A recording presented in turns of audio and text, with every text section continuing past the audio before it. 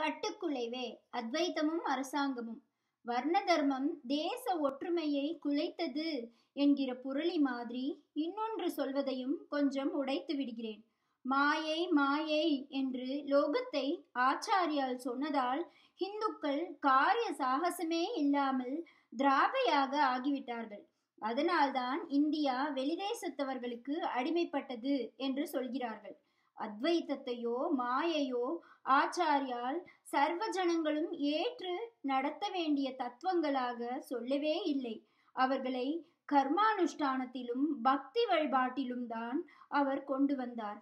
பக்குவப்பட்ட பின் தான் அத்வைத்தத்துக்கும் மாயா டாக்டரைன் என்கிறார்களே அதற்கும் போகச் சொன்னார்.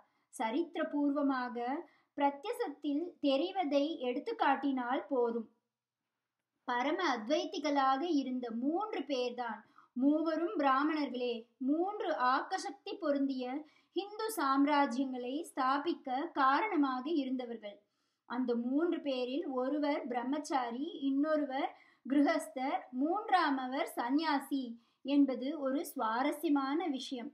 மாலிக் காஃபூர் தெற்கே ராமேஸ்வரம் வரையில் போய் ஆலயங்களை சின்னாபின்னப்படுத்தி ஹிந்து சமூகத்தின் மீது ரணகாயம் ஏற்படுத்திவிட்டு போன பின் மறுபடி நம்முடைய நாகரிகம் தலை தூக்கி பெருமைக்குரிய ஸ்தானத்தை பெற்றது விஜயநகர சாம்ராஜ்யத்தினால்தான்.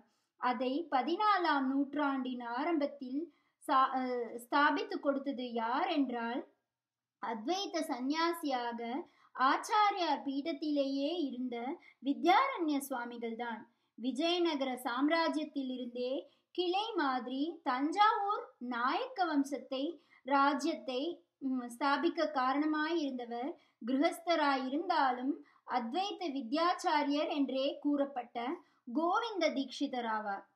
அவுரங்கசீப்பின் மதவெறியில் ஹிந்து சமுதாயம் நசித்து போகாமல் அதற்கு புது ஜீவன் ஊட்டி மகாராஷ்டிர சாம்ராஜ்யம் ஏற்படுத்தியது சிவாஜி என்றால் அந்த சிவாஜிக்கு ஜீவ சக்தி ஊட்டி தட்டி எழுப்பியது அவனுடைய குருவும் பரம அத்வைத்தியும் சுத்த பிரம்மச்சாரியுமான சமர்த்த ராமதாஸ் தான் நிரம்பவும் விஷயம் தெரிந்த மாதிரி காட்டிக்கொண்டு பொறுப்பில்லாமல் அபிப்பிராயம் சொல்லி நம்முடைய பெரிய ஆத்மீக சமய கலாச்சாரத்தில் நமக்கு தாழ்வு மனப்பான்மை உண்டாகும்படி செய்கிறார்கள் என்று காட்டவே இதையெல்லாம் சொல்கிறேன்.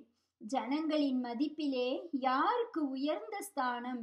வித்யையில் யார் ஓங்கி இருக்கிறார்கள் என்பதை பார்த்து ஹிந்து சமுதாய பிரிவுக்குள்ளே போட்டி பொறாமைகள் இருந்ததே இல்லை. அப்படி கொஞ்சம் எங்கேயாவது தலை தா தூக்கினால் கூட அது க்ஷத்திரியர்களுக்கு பிராமணர்களிடம் ஏற்பட்டதாக தான் இருந்தது.